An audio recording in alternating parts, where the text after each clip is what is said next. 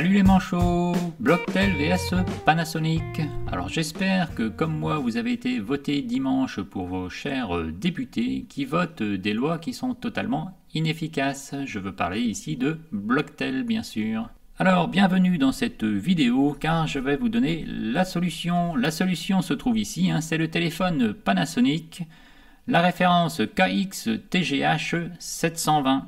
Grâce à ce téléphone, je n'ai plus aucun appel indésirable. Dans cette vidéo, nous allons voir les objectifs de ce téléphone, nous allons voir aussi son principe de fonctionnement et je vous donnerai quelques infos pratiques pour son utilisation. Les objectifs de ce téléphone. Cela fait exactement 6 mois que j'ai ce téléphone et je n'ai plus un seul appel indésirable pour me vendre tout et n'importe quoi. J'ai retrouvé la paix et la sérénité dans notre foyer. Le principe de fonctionnement de ce téléphone se divise en trois lignes de défense. La première ligne de défense, c'est une liste de contacts. Vous allez renseigner dans ce téléphone une liste de contacts qui vont pouvoir vous joindre assez facilement. Une fois cette liste de contacts renseignée, si une personne qui est dans la liste de contacts essaye de vous joindre, eh ben, le téléphone va tout simplement se mettre à sonner. Ce qui est tout à fait logique. Maintenant, voyons la deuxième ligne de défense. Si dans la liste de contacts que vous avez renseigné, vous avez oublié de mettre votre belle-mère, elle essaiera bien sûr de vous joindre. À ce moment-là, elle sera confrontée à un code qu'il faudra renseigner. Michael Françoise vous répondent, appuyez sur la touche 2. Voici un exemple de message que vous pouvez renseigner dans votre message d'accueil. Il faudra qu'elle renseigne un code d'accès pour pouvoir vous joindre. Donc votre belle-mère pourra vous contacter et donc pas de souci, le téléphone va se mettre à sonner tout simplement. Ça, c'était la deuxième ligne de défense. Une fois que votre belle-mère aura renseigné le code d'accès, ici la touche numéro 2, elle sera enregistrée dans la base de données et elle n'aura plus besoin de valider le code pour vous rappeler une seconde fois. Ça sera pareil pour le livreur de pizza hein, qui n'aura pas été renseigné dans la base de données. Ensuite, nous avons la troisième ligne de défense et c'est celle-ci qui nous intéresse bloquer les plateformes téléphoniques et toutes les centrales d'appel. Pour cela, le téléphone est très efficace puisque cela fait exactement 6 mois que j'ai ce téléphone et je n'ai plus un seul appel indésirable, puisque tous les centrales téléphoniques utilisent un robot pour vous contacter. Et ce robot sera totalement incapable de composer le code confidentiel qui vous sera présenté. Alors c'est un code confidentiel que vous allez pouvoir mettre en place de 1 à 3 chiffres, à vous de les définir. Alors, voici quelques infos pratiques sur ce Alors, personnellement, je l'ai acheté chez Darty, hein, tout simplement, Darty à Quimperlé. Vous le trouverez bien sûr euh, chez Amazon aussi, hein, vous pouvez le commander. Et je vous mettrai un lien dans le descriptif sur le mode d'emploi de ce téléphone. Vous aurez ici toutes les informations nécessaires hein, pour configurer et utiliser ce téléphone. Alors c'est un téléphone classique, pas de miracle, il fonctionne comme tous les autres téléphones que vous pouvez acheter dans le commerce. Ensuite, euh, vous avez bien sûr le répertoire hein, qui comprend jusqu'à 200 entrées, c'est celui-ci qui va mémoriser tous vos contacts qui vous pourront vous joindre très facilement et à ce moment-là, votre téléphone bien sûr va se mettre à sonner tout simplement. Ensuite, euh, ce que nous avons, c'est les appels indésirables. Alors bien sûr, vous pouvez bloquer les appels indésirables avec une touche qui se trouve sur le téléphone.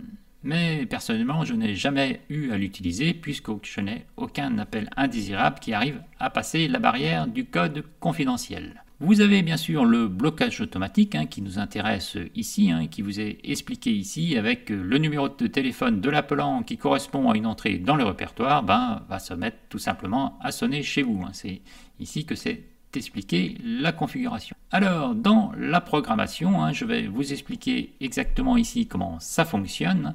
Vous avez un accès direct à la configuration. Je vais prendre l'exemple du message automatisé qui est ici, c'est le message d'accueil qui se trouve ici. Pour cela, nous avons des accès directs ici au réglage. Alors, vous allez sur le menu qui se trouve tout en haut, hein, ici, vous avez le petit carré qui correspond au réglage. Là, vous allez aller dans un menu qui se trouve ici, et là, vous appuyez sur la touche dièse, tout simplement.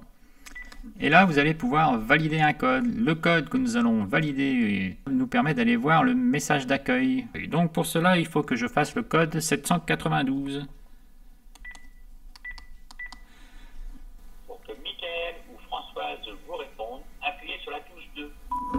Voilà le genre de message que vous allez pouvoir euh, renseigner dans votre téléphone. Alors avec euh, ce type de message, aucun robot ne sera capable de le décrypter et de valider le code que vous allez mentionner.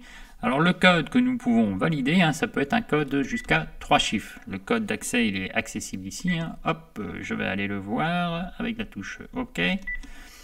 Là, le code, j'ai mis la touche 2. Hein. Le code par défaut, c'est le code numéro 1 mais vous pouvez valider un code de 1 à 3 chiffres. L'autre information que je voulais vous donner, hein, que j'ai trouvé sur Internet, hein, c'est beaucoup d'utilisateurs cherchent à éteindre l'écran quand le combiné est sur sa base. Voici la solution pas simple à trouver dans la notice. Alors là, je mets un carton rouge à Panasonic hein, pour ce problème d'affichage qui ne s'éteint pas. Si vous mettez le téléphone dans votre chambre, l'écran reste allumé. Alors bien sûr, il y a une solution, mais elle n'est pas très facile à trouver. Alors je vous le montre ici avec euh, les menus. Hein. En allant directement dans les menus, vous allez dans Réglages, hein, tout simplement. Et à l'intérieur de Réglages, hein, vous allez pouvoir avoir un accès à votre écran. Alors tout en bas, vous allez dans la liste. il se trouve ici, Réglages de l'écran. Bon, c'est assez logique jusqu'ici. Mais ensuite, c'est là que ça devient un petit peu plus compliqué, puisque la solution se trouve ici, charge d'aile. Avec euh, cette option, vous allez pouvoir euh, dévalider l'affichage de l'écran en mettant l'option sur non. Alors, dans le mode d'emploi, la notice euh, se trouve ici. Hein. Réglage de l'écran, charge d'aile, rétroéclairage de l'écran. Charge d'aile et rétroéclairage, hein, ce n'est pas évident trouver. Alors bien sûr, il y a un accès direct à ce menu. Hein. Vous appuyez ici, vous appuyez sur la touche dièse hein, qui se trouve tout en bas du téléphone et vous validez le code qui correspond. Ici, c'est 191.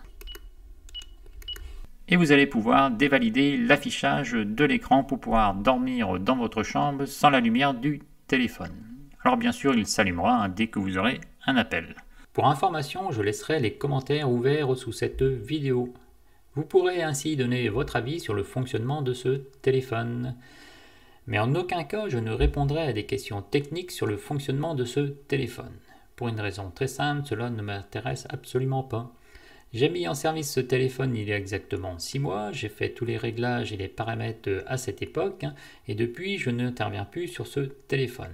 L'objectif était de filtrer les appels indésirables et c'est ce qu'il fait à merveille depuis 6 mois et à 100%. Si vous avez besoin d'informations, il suffira de consulter la notice hein, et le mode d'emploi que je vous mettrai dans le descriptif. Vous y trouverez sûrement toutes les informations nécessaires par rapport à votre utilisation.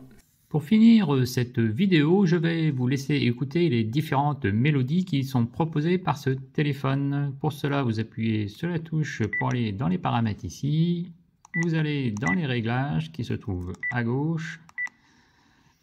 Et dans les réglages, vous allez pouvoir écouter les différentes mélodies en allant dans les réglages de la sonnerie. Là, vous descendez dans les réglages et vous allez dans sonnerie externe. et là, vous allez pouvoir écouter les différentes mélodies. Sur ce, je vous dis euh, Kenavo et à bientôt et je vous laisse écouter ce joyeux concert.